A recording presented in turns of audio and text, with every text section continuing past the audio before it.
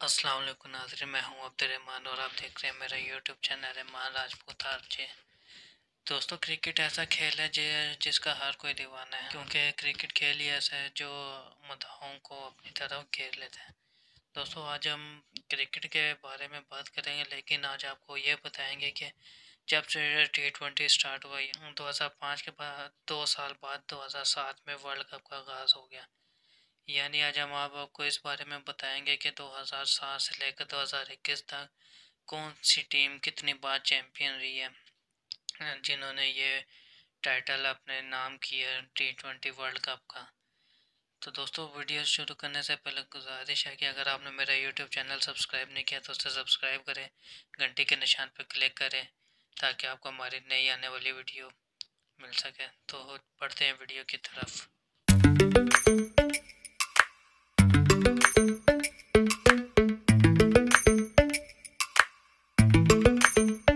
दोस्तों T twenty का आगाज़ 2005 से शुरू हो चुका था। 2005 से कपल जो फॉर्मेट खेला जाता था, वो ओडीआई का खेला जाता था, यानी पचास पचास ओवर का, और उससे पहले टेस्ट क्रिकेट थी।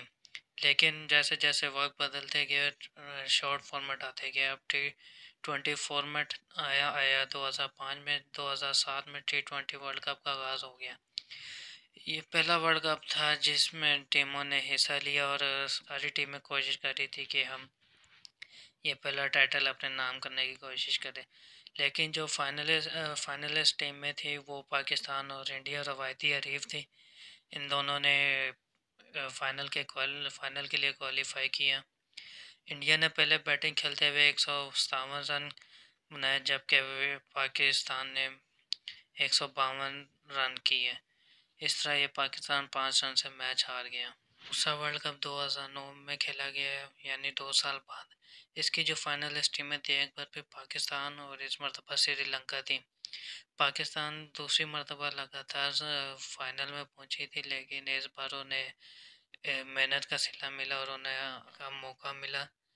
इस पहले बैटिंग करते हुए श्रीलंका ने एक सौ अड़तीस रन छः खिलाड़ी आउट उनके हुए थे, जबकि हदफ के ताकू में पाकिस्तान ने वन थर्टी नाइन रन, दो खिलाड़ी आउट थे तो इन्होंने ये मैच जीत लिया।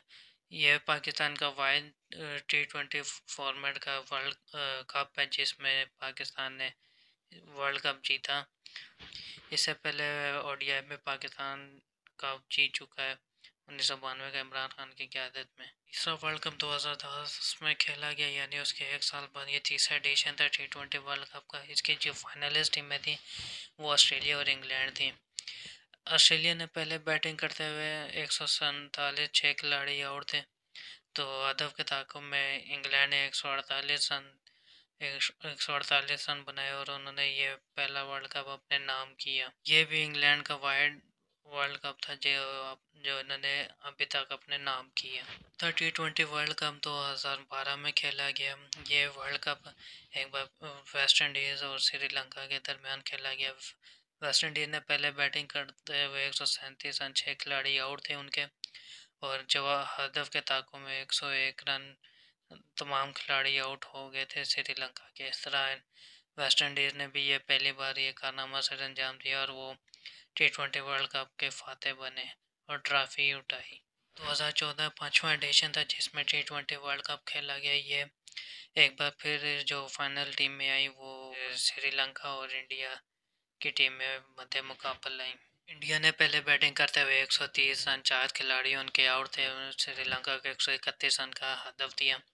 हदफ के ताकू में श्रीलंका एक सौ चौंतीस रन बनाए उन्होंने और उनके चार खिलाड़ी और इस तरह श्रीलंका ने भी पहली बार 2014 टी ट्वेंटी वर्ल्ड कप में कप उठाने का एजाज़ हासिल किया। 2016 छवा एडिशन खेला गया। तो फाइनलिस्ट टीमों के दरमियान जो वेस्ट इंडीज़ और इंग्लैंड के दरमियान खेला गया, ये दोनों ही वर्ल्ड कप जीत चुकी थी एक एक बार, लेकिन ये 2016 में ये पहली बार ऐसा होना था कि इन दोनों में से जो भी वर्ल्ड कप जीता, वो दूसरी बार वर्ल्ड कप जीत जाता। पहले बैटिंग करते हुए इंग्लैंड ने एक सौ पचपन खिलाड़ी आउट हो गए थे उनके तो उन्होंने एक सौ छप्पन रन का टारगेट दिया। अदब के ताकुम में वेस्ट इंडीज़ टीम मुश्किल का शिकार है का, उनके पाँच आउट हो चुके थे, लेकिन आखिरी ओवर में उन्हें चार छक्कों की ज़रूरत थी। तो कार्लस ब्रैथवेट क्रीज पर मौजूद थे तो उन्होंने चार छक्के बेन स्टोक को लगातार मारे और वर्ल्ड कप जितवा दिया वेस्ट इंडीज़ को दूसरी बार। जो है अभी तक की वाहिद टीम है जिसने वर्ल्ड कप कैरियर में दो बार वर्ल्ड कप का टाइटल अपने नाम किया और ट्रॉफी उठाई। 2021 यानी पाँच, तकरीबन पाँच साल बाद टी ट्वेंटी वर्ल्ड कप का सातवां एडिशन खेला गया। फाइनली ये कुछ दिनों पहले 2021 वर्ल्ड कप का फाइनल खेला गया ऑस्ट्रेलिया और न्यूजीलैंड ऑस्ट्रेलिया पहले भी फाइनल मरहले तक आई है, लेकिन न्यूजीलैंड इससे पहले हम फाइनल मरहले में नहीं आई है उनका पहला मौका था कि वो तारीख रकम करते वर्ल्ड कप जीत जाते, लेकिन ऐसा ना हुआ, ऑस्ट्रेलिया ने ये वर्ल्ड कप जीत लिया। 2021 वर्ल्ड कप का टाइटल अपने नाम करने में कामयाब थी न्यूजीलैंड ने पहले बैटिंग करते हुए एक सौ बहत्तर चार खिलाड़ी आउट थे उनके, और जबकि ऑस्ट्रेलिया ने, ऑस्ट्रेलिया को एक सौ तिहत्तर रन का टारगेट था। उन्होंने यह आसानी हासिल किया, अठारह शरीय, पाँच ओवरों में एक सौ तिहत्तर रन और उनके दो खिलाड़ी आउट थे। तो ये ऑस्ट्रेलिया पहली बार वर्ल्ड कप जीतने में कामयाब हुई।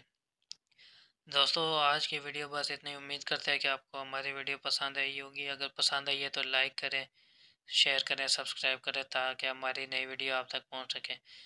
अभी तक के लिए इतना ही। बहुत जल्द मिलेंगे नई क्रिकेट वीडियो या किसी और चीज़ के बात के मतलब आपके साथ शेयर करूँगा। फ़िलहाल अभी तक के लिए इतना ही। मुझे दीजिए इजाज़त। अल्लाह हाफिज़। Take care